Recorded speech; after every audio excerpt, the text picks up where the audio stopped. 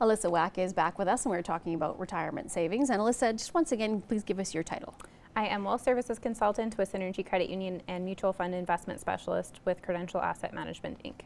Okay, we are talking about planning for retirement, and uh, it's a it's a big deal for a lot of people. And you know, all of a sudden you've got all this free time. So, what, or most people do, anyways. yes.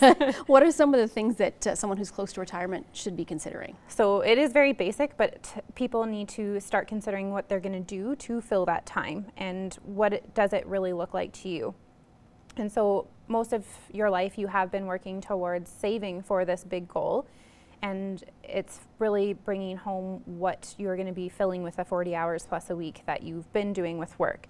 So for some things, maybe it's focusing on what some of your hobbies might be. Is mm -hmm. it mm-hmm. going to be filling time with maybe it's grandchildren? Is it going to be travel? Is it also breaking down where you are wanting to spend a lot of your time in retirement? Maybe you have a home here, but maybe you're thinking about getting home in Kelowna or the East Coast or something right. to maybe have milder winters.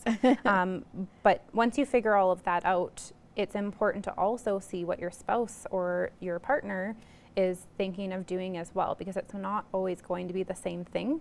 And then working together on aligning that and making it drive together. Making sure it's going to work. Yeah. So what are some of the, uh, the biggest obstacles that people have to overcome when they're looking to retire? So it might sound a little crazy to say, but I think uh, it's a bigger emotional undertaking than one might right. consider. Yep. Um, and it's really not knowing what to expect come retirement. That's the biggest thing. No one really knows what to expect. And for the first little while, it might just seem that you feel like you're on vacation, but then all of a sudden you're not going back to work. And what now do I do? And so it's very overwhelming when you go from working 40 hours a week to not having that.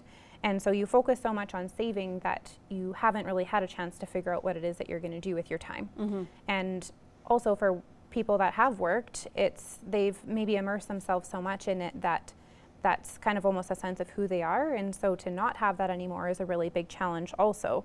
And I think the biggest obstacle I see is that you've worked or you spent your whole life saving. Right. And to flip that switch all of a sudden in retirement and go to spend that money is a really big challenge in right. itself. And it's scary because some of the biggest concerns for most of Canadian retirees are are they going to have enough? Mm -hmm. And that also goes to say, am I going to have to go back to work?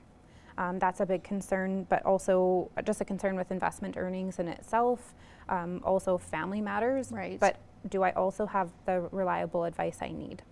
Now, what are some of the mistakes that you've seen people make when they, they think they've planned for their retirement? Um, I would say that the biggest mistake, or some of the mistakes I see, mm -hmm. is mm-hmm. just not starting planning soon enough. And that kind of goes back to what I had said previously is it's never too early to start saving for retirement. And so often people put off their retirement savings because they get so overwhelmed with their other goals that they have that they just put it on the back burner mm -hmm. instead of trying to learn how to balance both. And that's very important. But I would say also another thing that I see is not getting the right people involved soon enough. Right. And so if you have a business, it's they would know business owners is it's so important to make sure you have uh, an, a good accountant by your side that's going to give you that advice you need but also having that advisor to give you the financial side of things on the bank and the products and the planning aspect too. We're the, we're the pros there. Um, and so if any changes are required, the, it's better to get that pro involved or the, the specialist involved right. sooner because then the changes are a lot less and it feels a lot less overwhelming. Okay, and uh, just one final question before we go here, Alyssa. If anybody wants more information or they feel overwhelmed and just don't know where to go, uh, what's the best way to, to reach you guys and to set up appointments? That would probably be best through the contact center they're always okay. there to pick up the phone and then just to ask to speak with a wealth services consultant or a licensed representative with okay. Synergy. Okay, perfect. Well, thank you so much for your time today. I appreciate it.